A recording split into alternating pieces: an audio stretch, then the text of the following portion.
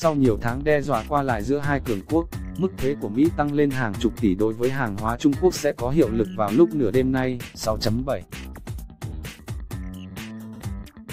Nhưng do lệch múi giờ, giờ Trung Quốc sớm hơn Mỹ 12 tiếng, nên Trung Quốc sẽ là nước đầu tiên áp thuế 25% lên một số mặt hàng của Mỹ.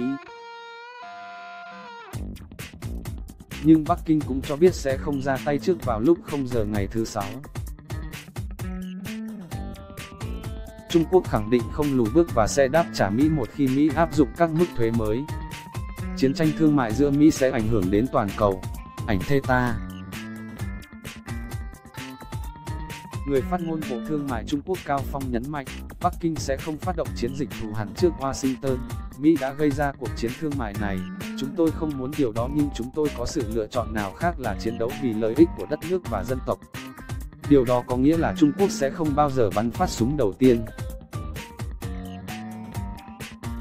Nhưng nếu Mỹ tung ra các biện pháp trừng phạt, Trung Quốc sẽ buộc phải đáp trả. Tháng trước, Nhà Trắng đã công bố kế hoạch để đóng thuế 25% trên 1.100 hàng hóa Trung Quốc. Bắt đầu từ nửa đêm tối nay, Mỹ sẽ đánh thuế 818 sản phẩm Trung Quốc trị giá tổng cộng 34 tỷ USD mỗi năm. Các sản phẩm còn lại sẽ vẫn còn trong danh sách cho đến sau khi chính phủ Mỹ đánh giá được tình hình. Trung Quốc không hài lòng về điều này, và Bắc Kinh đã cam kết sẽ trả thù bằng giá trị tương tự, 25% thuế đối với các sản phẩm của Mỹ trị giá 34 tỷ USD mỗi năm, bao gồm đậu nành, hải sản và dầu thô. Căng thẳng thương mại giữa Mỹ và Trung Quốc làm dấy lên lo ngại về một cuộc chiến thương mại toàn cầu đang diễn ra toàn diện.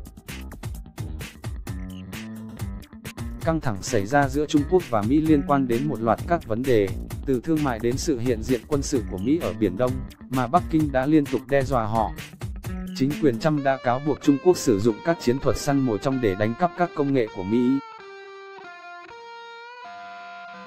Mỹ cảm thấy bị đe dọa bởi kế hoạch Made in China 2025 của Trung Quốc, một kế hoạch phát triển tầm xa để tạo ra các thực thể Trung Quốc mạnh mẽ trong các lĩnh vực như công nghệ thông tin, dầu bát, thiết bị hàng không vũ trụ, xe điện và dược sinh học. Mỹ cũng cho rằng Bắc Kinh sử dụng tiền nhà nước để mua công nghệ của Mỹ với giá mà các công ty tư nhân không thể với đến được. Nếu căng thẳng leo thang hơn nữa, chiến tranh thương mại Mỹ-Trung Quốc dự kiến sẽ gây hậu quả toàn cầu.